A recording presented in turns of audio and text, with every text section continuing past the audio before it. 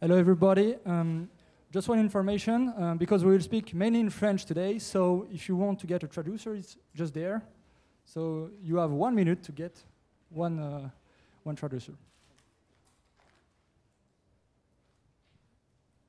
So thank you very much for being here. Merci beaucoup d'être ici. Euh, nous allons parler donc ce matin de la conférence européenne sur l'innovation sociale et l'investissement à impact, et principalement des contrats à impact social, euh, autrement appelés Social Impact Bonds.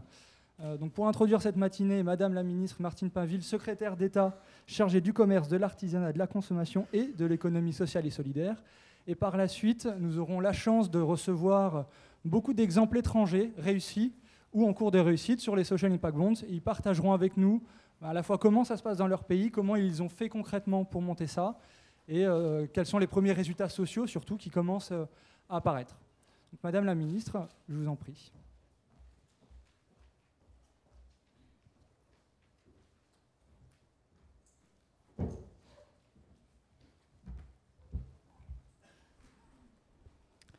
Mesdames et messieurs, bonjour à tous. Je suis euh, ravie de vous accueillir ici à Bercy et je vous souhaite la bienvenue dans cette grande maison où l'ESS, l'économie sociale et solidaire, prend, ici vraiment toute sa place.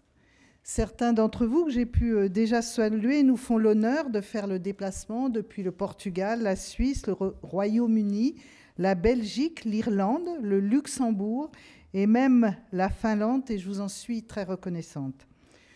Nous sommes réunis aujourd'hui car nous partageons, je crois, un intérêt commun pour une économie du sens et du partage, pour des projets innovants qui, au-delà de leurs vertus euh, économiques, ont l'ambition d'apporter des réponses collectives aux besoins de notre société, à la question du mal logement, du réchauffement climatique, de la santé publique ou encore au vieillissement de la population.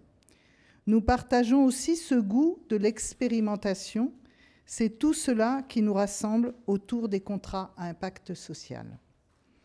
Quand je vous vois euh, aussi nombreux, je repense à toutes les batailles que notre gouvernement a menées pour faire reconnaître l'économie sociale et solidaire à sa juste place. Et je me réjouis du chemin parcouru et du succès des dispositifs créés comme les contrats à impact social. En 2014, la loi sur l'ESS a reconnu et organisé pour la première fois tout un pan de notre économie. Jamais un gouvernement ne s'était impliqué de cette façon aux côtés des associations, des coopératives, des mutuelles, des fondations et des entrepreneurs sociaux pour reconnaître leur richesse immense, tant économique qu'humaine, et aussi pour les accompagner vers un développement pérenne et une croissance lucrative, inclusive. Pardon.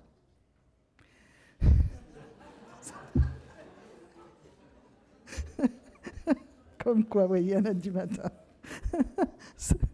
Ce pari sur les entreprises de l'ESS n'est pas idéologique, il est pragmatique. En effet, les entreprises de l'ESS jouent un rôle essentiel de proximité et de cohésion sociale. Je pense par exemple au secteur associatif qui représente à lui seul 3% du PIB et rien que pour l'ESS rassemble 1,8 million d'emplois au sein de 170 000 structures. Les associations tiennent depuis plusieurs siècles un rôle central auprès de nos concitoyens et dans les territoires. La France s'est toujours nourrie intellectuellement, économiquement, socialement et politiquement de son tissu associatif et des différentes causes qu'il défend. C'est ce qui en fait un pilier de notre démocratie et ce qui lui confère cette capacité à anticiper les mutations de la société et de l'économie à travers des projets repensant les nouvelles formes de solidarité. Il nous a donc semblé naturel de sécuriser le financement traditionnel des associations en définissant d'abord la notion de subvention, une première dans la loi française. Cette définition permet aujourd'hui aux collectivités publiques de recourir aux subventions de façon simplifiée et protégée, sans craindre le manquement au Code des marchés publics. Notre gouvernement a renforcé son soutien en portant depuis 2012 les subventions de l'État aux associations de 1,2 milliard à plus de 2,1 milliards d'euros.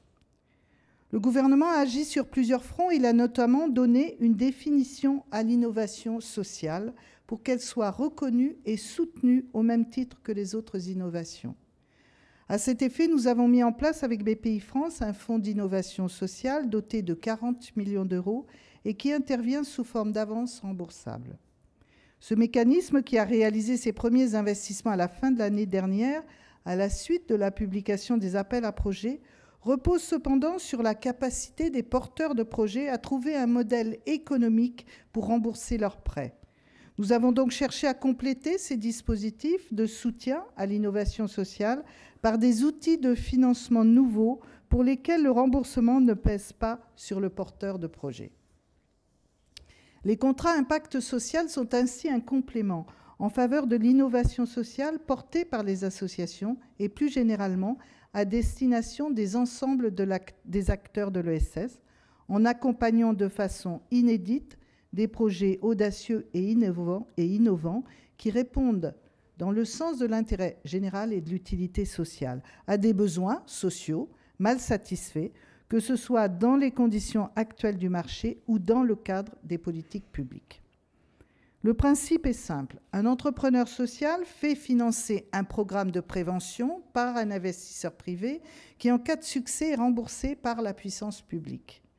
Les contrats impact social ont pour seul but le lien entre des acteurs souhaitant porter des, des solutions innovantes et d'utilité sociale et des investisseurs soucieux de soutenir ces dynamiques, et vous êtes nombreux à en faire partie aujourd'hui. Permettez-moi de préciser qu'à aucun moment il ne s'agit de substituer les contrats à impact social à la solidarité nationale, à l'action sociale ou au soutien public aux associations sur lesquelles, avec lesquelles nous travaillons par ailleurs. Nous, avons les vertus, nous savons les vertus de ce dispositif d'amorçage qui, lorsque nous l'avons lancé en France en mars dernier, avait déjà fait ses preuves chez nos voisins européens sous le nom de Social Impact Bonds. Toutefois, pour notre part, nous avons fait le choix de nous concentrer sur le critère d'innovation sociale et l'articulation du projet avec les politiques publiques existantes. Plusieurs mois nous séparent de mars 2017, date à laquelle nous clôturerons ce premier appel à projet.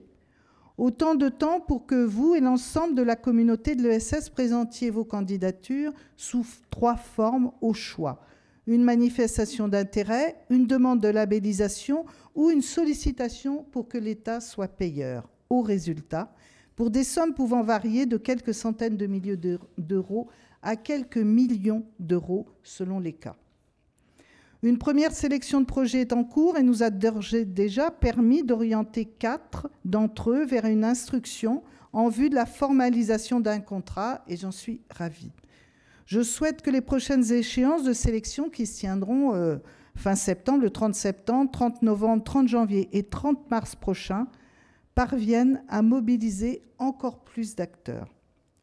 Pour ma part, je peux vous assurer de mon plein engagement pour parvenir au succès de ce dispositif innovant que nous avons lancé ensemble en mars dernier et je sais que nous y parviendrons à travers des moments d'échange privilégiés comme aujourd'hui. La force de l'ESS, de l'économie sociale et solidaire, est qu'elle dispose au niveau local, national et même européen d'un grand réseau d'acteurs. Nous avons lancé les contrats impact social en mars dernier, mais en Europe, le dispositif existe déjà depuis longtemps sous le nom de Social Impact Bond, et il a déjà fait ses preuves. Nous avons beaucoup à recueillir de ces expériences européennes et de synergies à créer, et je suis euh, heureuse d'accueillir aujourd'hui les ambassadeurs euh, européens venus partager leur retour d'expérience et apporter des perspectives nouvelles pour notre dispositif. Cette conférence sur l'innovation sociale et l'investissement à impact social réunit également aujourd'hui des acteurs multiples, porteurs de projets, évaluateurs, cabinets d'ingénierie, investisseurs et payeurs finaux potentiels, qui ont vocation à se rencontrer pour échanger leurs expériences et construire ensemble des, projets de contrat impact social en réponse à l'appel à projets que nous avons lancé en mars. Je suis convaincue que ces mises en relation sous le, sous le format de networking participera à la maturation de vos projets et plus généralement à bâtir une communauté puissante de l'ESS qui ensemble fera advenir le changement d'échelle de ce nouveau modèle économique. Je vous remercie.